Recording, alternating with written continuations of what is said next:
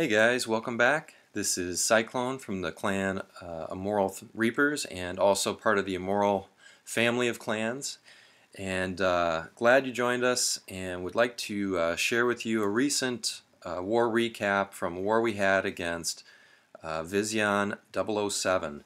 As you can see, we've also been on a four war win streak, so uh, doing a great job and bringing in the wins and bringing in that full loot. And so the the war we had here against viZYON was was a close one. It was 78 to 75, but in the end, of course, the Reapers came out ahead and got all of that experience. Uh, we are level 5 clan, have been for a while now.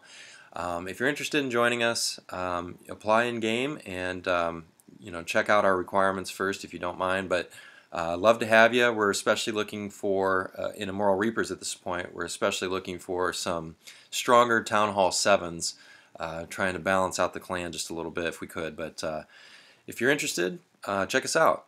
All right, so looking at this war here, you can see um, 75 stars. It was a 30 on 30, so we covered the bottom part of the map pretty thoroughly. Um, just left a few stars at the top, which is pretty common. Um, but we're still getting real close to a perfect war. Um, I think we've been within a couple stars a few different times now. Um, I'm sure we'll get it soon, but uh, we want to share a couple of great attacks we had in this war. So, starting out with uh, Joe Mama's attack on number two, which is, I think it's Sefe Gulari. I probably butchered that, but anyway, we've got a uh, quad LaLoon happening on this base here, and what he does really well is does a great job of set, setting up this funnel for uh, the attack on the Archer Queen.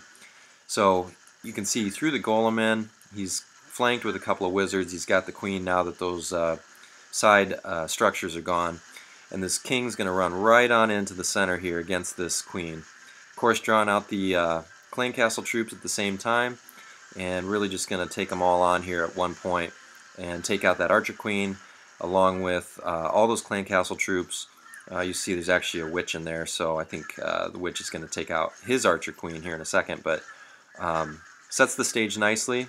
You can see he's actually now already dropped in the first Lava Hound and the second Lava Hound, both going towards that air defense, and then has the loons coming in on the backside.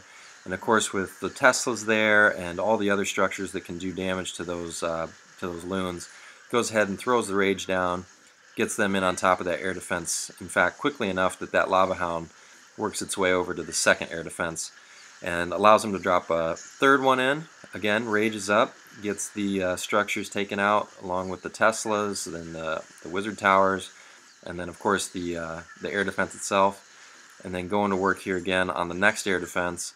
So he led these real nice. He, he threw in the Hound, he brought in the Loons at an angle where uh, they wouldn't take too much fire from the, uh, the point defenses as they worked their way in. And uh, really at this point, he's cleaned out all of the air defenses. All four of those are down, along with the Expos and all those Teslas in the core. So um, really just on cleanup duty at this point. And so again, he did a nice job funneling into that Archer Queen on the left side initially. Um, took out her along with those uh, clan castle area drops in the jump spell. Um, I think he was just burning it because he really didn't need the jump on the loons. But anyway, nice job, Joe Mama. Got it done. Got us three stars, and uh, really appreciate that. So, all right, let's take a look here. I think we had another one down here. I'm trying to remember what it was. Uh, Slim Jim on Karam. And uh, first of all, let's see. Oh no, no, you do not want to do um, loon. Uh, I'm sorry, dragons against level six air defenses.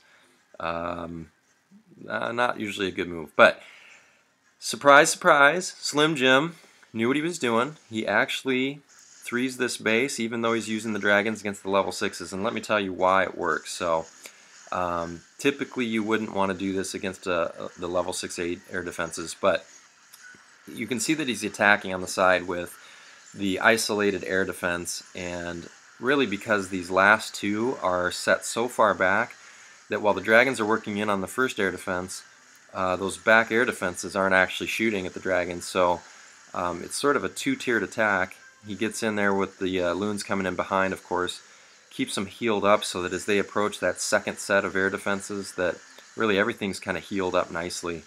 And that's why this works. Um, that first air defense was sort of like the gateway in, and even though he's got these other air defenses protected by these uh, storages, because he came in from the middle of the base, he's actually on the other side of those. So able to come in, um, get those air defenses down relatively quickly.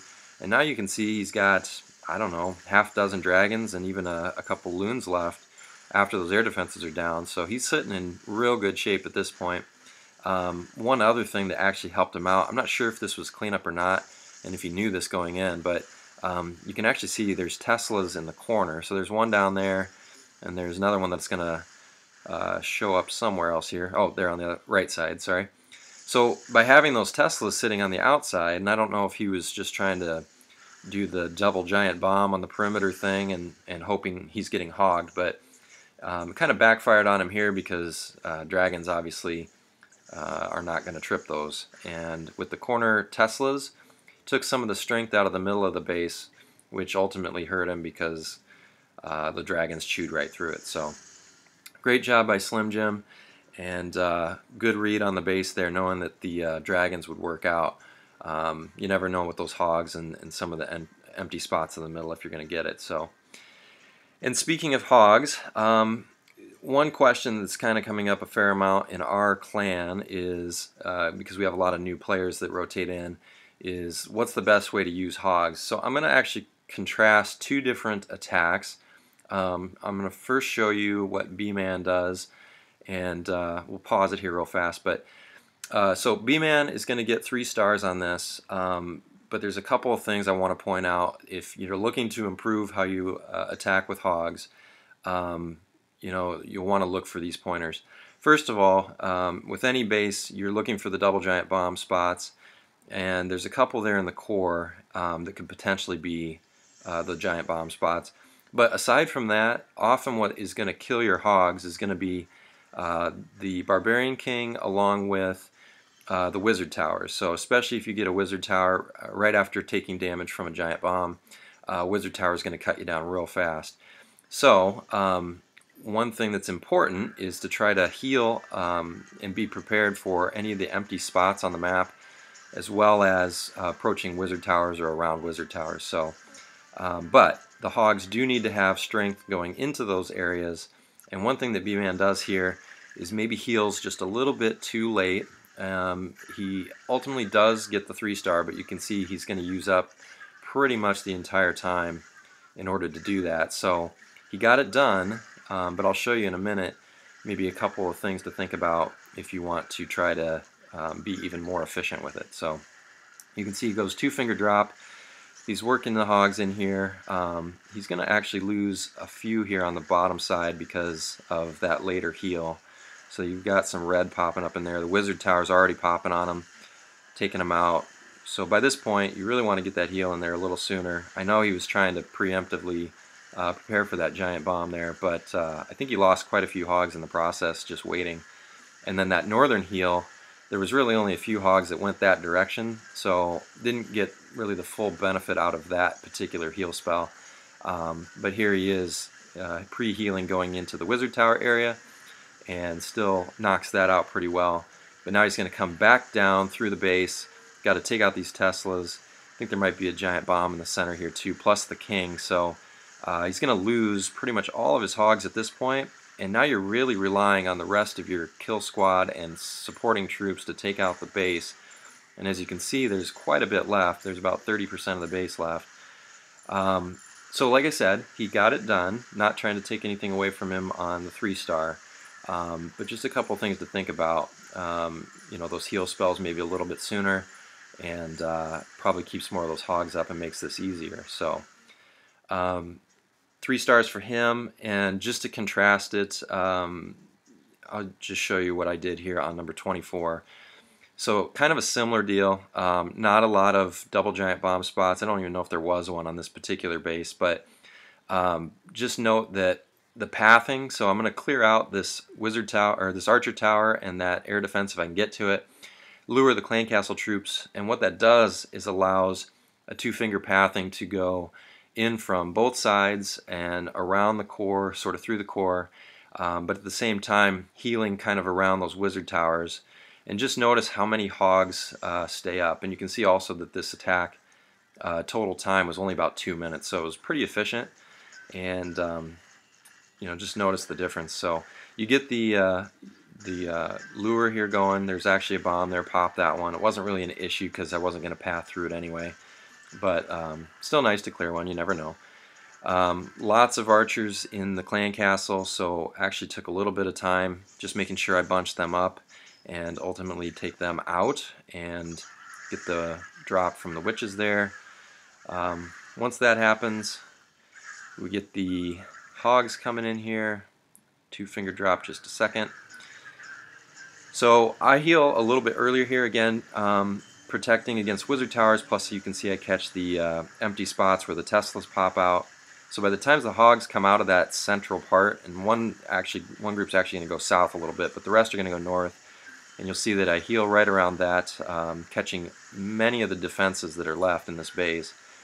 Uh, and by the time that the hogs come out of there, they're going to run up to get that final cannon, and then come back down into the base. So um, already have cleared all the defenses. Took about a minute or so once the hogs were deployed, and that leaves uh, you can see they're going after the king here, so they get him. Um, plenty of hogs left to help clean up the base. And I'll speed it up here, and you can see that uh, with that pack of hogs, along with the uh, kill squad still surviving, this is a easy slam dunk three star. And uh, just wanted to point out, heal spell placement is pretty important, especially if you can catch a lot of the defenses at one time. So. All right, well, that's about all I got for you today. Um, appreciate you checking out this war recap. And uh, again, if you're interested in joining us, check us out. Uh, we are on the forums. Uh, you can also check us out on our YouTube page at Immoral Clashing. And uh, thanks for checking us out, and we hope to see you next time. Take care.